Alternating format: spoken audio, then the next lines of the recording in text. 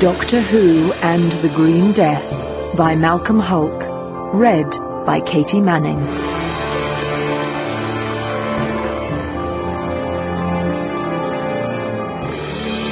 Chapter 1 Wealth in Our Time In his 40 years as a coal miner, Ted Hughes had never seen anything like it. He stood in one of the deserted mine's main galleries, not believing his eyes. Llanfairfach Colliery, in a mountainous part of Wales, had been closed for some time. No one in the village saw the sense of this, particularly the miners who'd spent their lives hewing coal from the pit. There was still ample coal down there, enough for another hundred years of mining. But government economists in London had proved it was better business to buy oil overseas than to mine coal here in Britain. So, Llanfairfach coal mine had been closed and its miners put out of work. But just in case it should ever be needed again, a handful of older miners were kept on to make monthly inspections.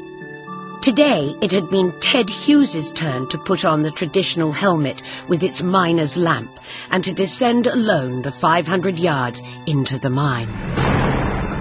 The inspection followed a set pattern he walked along one gallery after another, checking the props that held up the roof, checking water levels where water seeped in, pausing from time to time to listen. Sometimes he would hear a faint creaking sound, the mine talking, as he and his mates called it. If the sound was soft and gentle, like a woman murmuring in sleep, the mine was safe. But if the sound was ever harsh and sharp, it warned of danger and the possibility of a gallery roof collapsing. In his 40 years as a miner, Ted had known four major roof collapses. Men had been crushed to death or left trapped to die of suffocation. And the minor accidents, chunks of rock falling from the roof, breaking an arm or leg, injuries which left a man crippled for life, were too numerous to remember. After two hours of walking the galleries and checking the props, Ted sat down for a ten-minute break. He had a thermos flask of tea and some cheese sandwiches that his wife had made for him. As he poured himself some tea, the old sadness came over him. He looked up and down the section of the gallery where he was sitting, thinking back on the old times when the mine had been worked and was full of his friends. There was no one to talk to now. Economists in London had made a calculation, and the friendly world of Ted Hughes had been brought to an end. He finished his sandwiches and was just about to start on the next part of the inspection when he noticed the green, phosphorescent glow. It was coming from the far end of the gallery. There is no natural light in a mine. The only light is artificial and comes either from bulbs along the galleries or the lamps on the helmets of the miners. Ted's first reaction, therefore, was that he was no longer alone. Hello? he called. Who's down there? Pleased at the prospect of human company, he walked down the gallery towards the green glow. Then it struck him as odd that anyone should bring a green light into a coal mine. Hello? he called again, pausing this time. Who's down there? Again, no answer, but this time a faint, bubbling sound. Ted hurried forward. He still could not see the source of the light. It was apparently round a corner of the gallery, and he was eager to know what caused it. If anyone had been given permission to come down into the mine, Ted should have been told. But he couldn't think of a reason why anyone would want to. Finally, Ted reached the corner of the gallery and then he saw it. Green, glowing sludge was pouring in from a crack in the roof, cascading down a wall and forming a pool on the floor. The pool of sludge was already two or three inches thick in some places, and it bubbled as though alive. Ted moved forward cautiously. Instinctively, he wanted to touch it, but common sense told him to keep his distance. He backed away then, as he turned to go, a crack appeared in the ceiling above him. He looked up in time to see green sludge start to pour through from above. Before he had time to jump out of the way, a droplet of sludge landed on his left trouser leg. Without thinking, he tried to brush it off.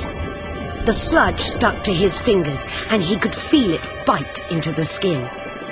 He rubbed them against the rocky wall of the mine. The surplus sludge went from his fingers onto the wall, but the parts of his fingers that had touched the sludge now glowed green. He raced along the gallery towards the mine's lift shaft. When he got to the lift, panting for breath, he looked at his fingers in horror. The whole of his hand was now glowing bright green. He fell into the colliery lift, slammed the gates, and pulled the lever that would hurtle him 500 yards up to the surface.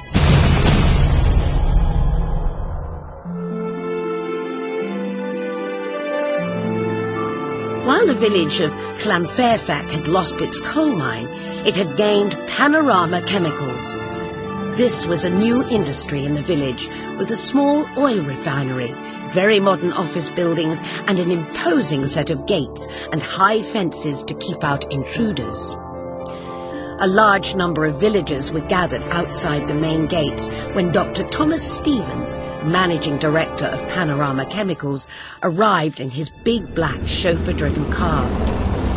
As the gates opened to admit the car, angry fists waved at Dr. Stevens and a number of posters were held out in front of him. They read, Free Wales, English out, and jobs for coal miners. The elegantly dressed Dr. Stevens smiled back at everyone through the glass windows of his vast limousine, and the car glided forward to the front entrance of the main administration block. Mark Elgin, the company's public relations officer, was standing there to greet Dr. Stevens. Elgin opened the car's door, and Dr. Stevens stepped out. Welcome back, sir, said Elgin. What's the news? Oh, it's all good, said Dr. Stevens. Then he gestured to the crowd on the other side of the main gate. How long has this been going on? Since early this morning, said Elgin. The usual unemployed layabouts. Elgin came from a working-class background himself, but through being bright at examinations had gone to university and now considered himself superior to others less fortunate. Dr. Stevens, who was feeling in a slightly more benevolent mood, put on a show of concern for the people crowded on the other side of the gate. But what's worrying them this time? he asked. I suppose, sir, said Elgin, they want to know what is going to happen. In that case, replied Dr. Stevens, I shall tell them. He went forward to the gate so that the people could hear him, and waved a piece of paper at them. I have here in my hand, he said slowly and loudly, a paper which will mean a great deal to all of you. He paused for dramatic effect, then called out, Wealth in our time! A small cheer went up from some members of the village crowd. Dr. Stevens took a couple of steps nearer to the gates. Of course, we all regret that the National Coal Board closed down the mine, he said, not regretting it at all himself, but knowing this would please his listeners. But we must not be bitter. We have to face facts. Coal is a dying industry. Oil is our future now, and the government agrees with me. They have not only given us the go-ahead for our plans, they have promised us money for expansion. I have it here in black and white. He waved the paper again. Actually, it was the menu from the hotel where he had stopped off to have lunch. But he knew no one could get near enough to read it. He really did have a letter from the government in his briefcase in the car, but he couldn't be bothered to fetch it. This means money for all of us. More jobs, more houses, more cars. A tall young man shouted something in Welsh. He had a tousled head of black hair, blue jeans, and a polo neck sweater, and stood out from the crowd. Dr. Stevens smiled, as he had been taught to smile at his minor public school when he couldn't understand something. I'm terribly sorry, he said, but I haven't mastered your language yet. Then I'll repeat it in English, shouted the young man. What you're offering means more muck, more devastation, and... We hope you enjoyed this preview. To continue listening to this audiobook on Google Play Books, use the link in the video description.